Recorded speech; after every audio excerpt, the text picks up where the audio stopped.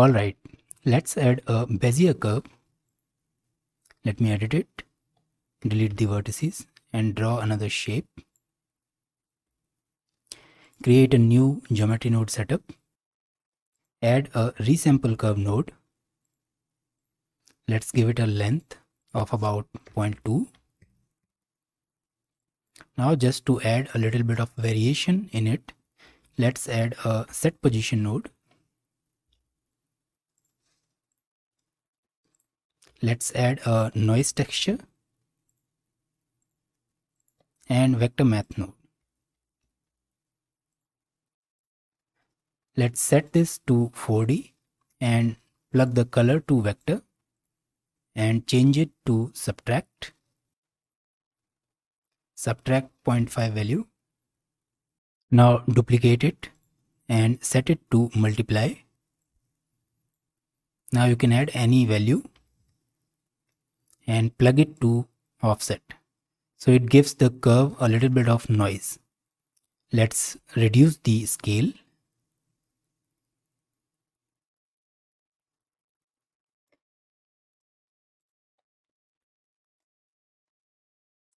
Now let's add a set curve radius node.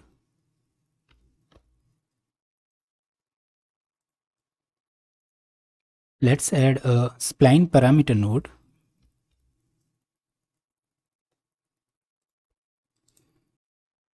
Plug the factor to radius and let's add a curve circle and a curve to mesh node.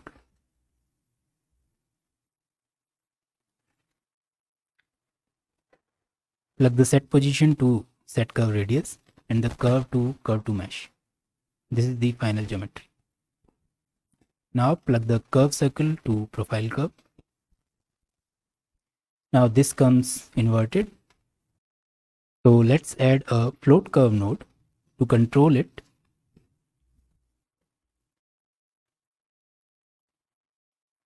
Let's invert it. We'll change it afterwards. For now, let it be something like this. Okay, so before proceeding further, let's create some UVs for this. So let's capture attribute for both of these. So for our curve and our curve circle and this float point value we are going to use spline parameter again and plug the factor in both of the value sockets. Now let's add a combine XYZ node. Plug the attribute from the curve to X and from the curve circle to Y. This vector value we'll use as UV. So in the group output, go to the output node, select this vector. Let's name it UV now in the modifier, if you go to output attributes here, again we are going to name it UVGN. You can name it anything. We are going to use this name in our shader editor. For the material, I am using this material from BlenderKit. It is a procedural material. However, I have baked the color, normal and roughness info and made it a PBR material. So this is our simple PBR setup for any material. Let's plug this material in our geo node. So let's add a set material node and give it the material. So right now the UVs are not aligned. So in the material shader editor, let's add a attribute node. And here we'll give the same name. So uvgn and plug this vector to our mapping node. So now UVs are properly mapped. We can change the shape and size from this mapping node.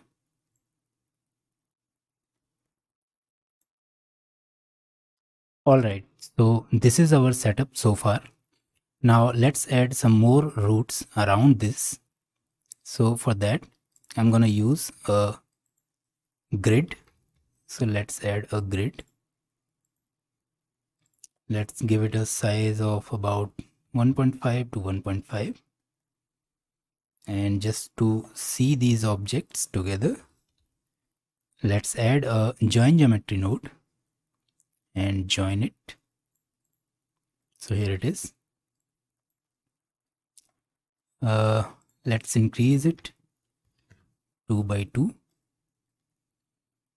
maybe I'm gonna decrease the radius a little bit. Right. Now let's add another curve circle. And let's add a distribute point on faces node. So we are going to distribute these curve circles onto that grid. Now let's add a instance on point node.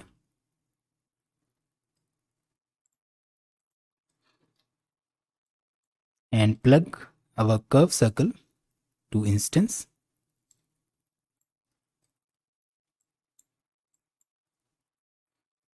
Let's decrease the density,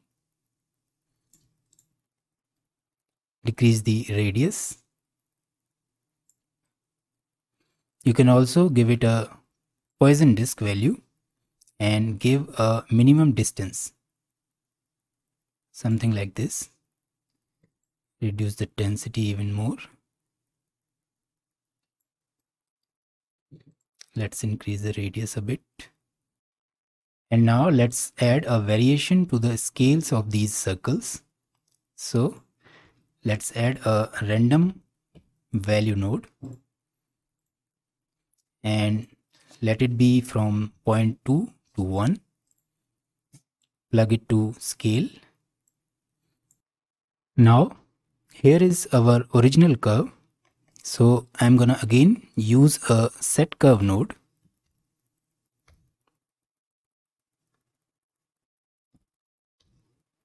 Set curve radius and plug the same curve from this set position to our set curve radius node. Now again I'm gonna use these two values. So float curve and spline parameter plug it to radius and again I'm gonna use curve to mesh now because these are instances so I'm gonna realize instance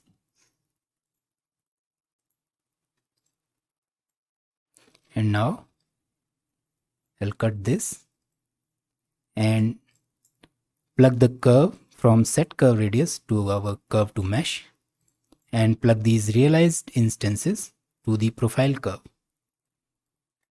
Now let's join it. So here are the curves. We can increase the radius. Let's increase the radius as well as the grid size to make them far apart something like this and also let's decrease the density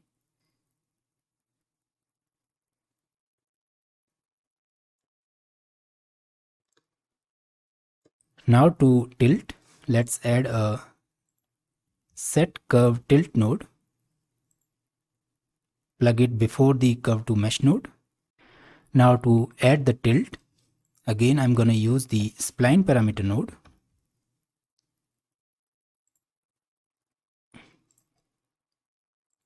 And let's add a math node. Here, I'm going to use a multiply add and plug the factor to first value and plug the output to tilt. So now these two values control the tilt. So the multiplier value control the tilt angle. So this is how you tilt it, how much you want.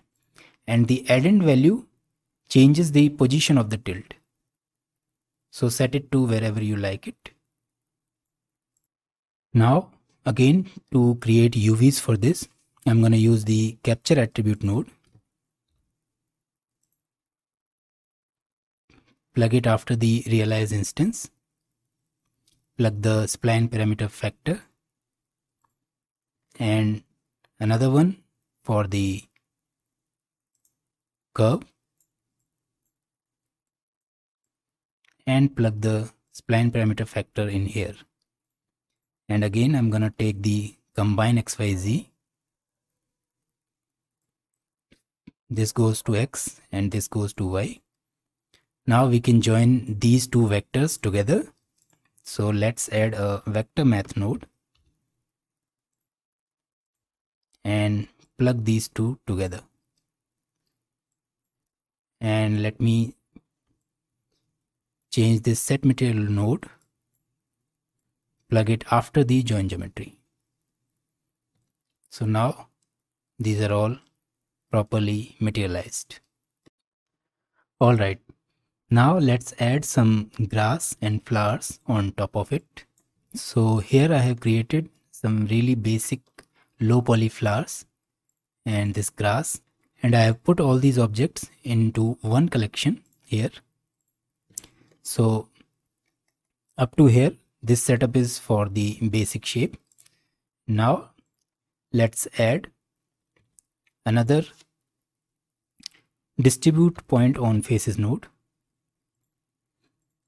and another instance on point node.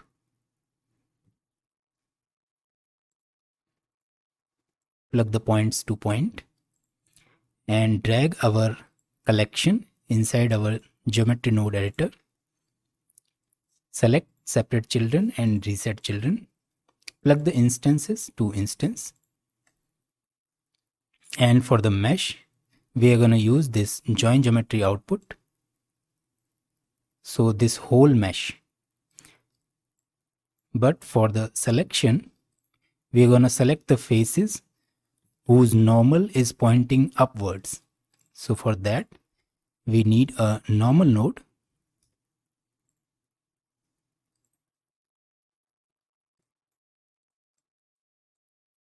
let's add a separate xyz node and add a combine XYZ node.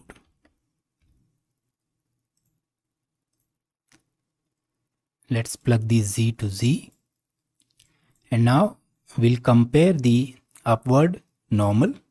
So let's add a math node,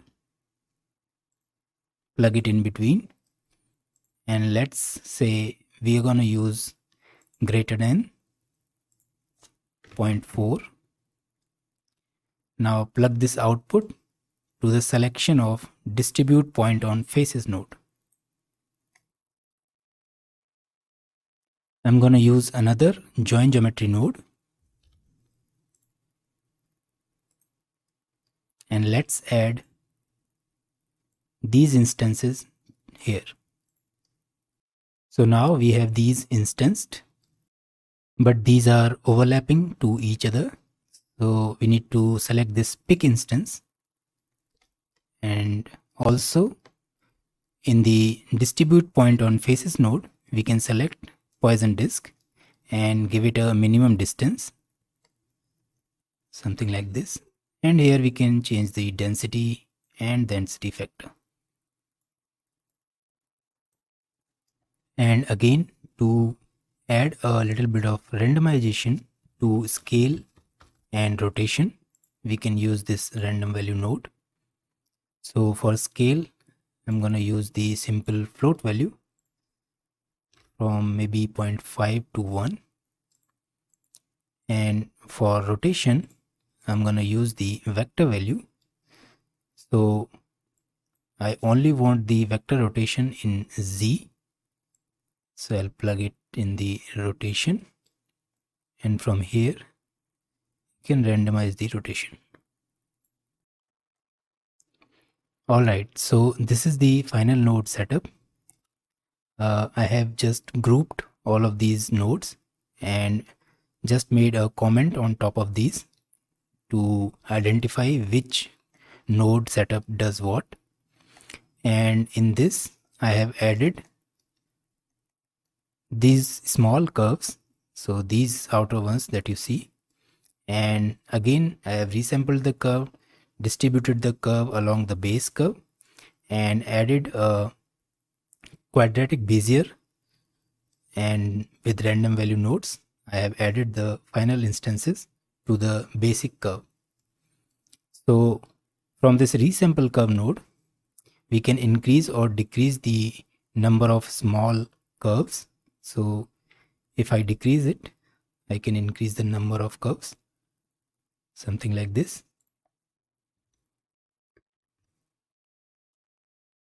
And because I have used the quadratic Bezier to create these curves we can use these values of xyz to create different shapes. We can make it bigger smaller. So it gives a additional variation look to it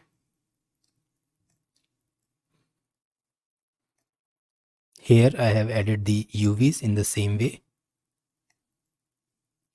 Also, I have distributed the grass and the flowers separately.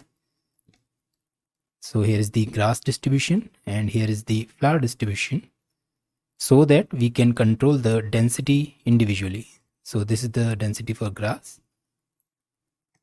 And this is for the flowers. and also I have added a trim curve node in the very beginning of all these nodes. So this gives a very simple animation type of look of growth. So if we control this end value we can animate it as a growing plant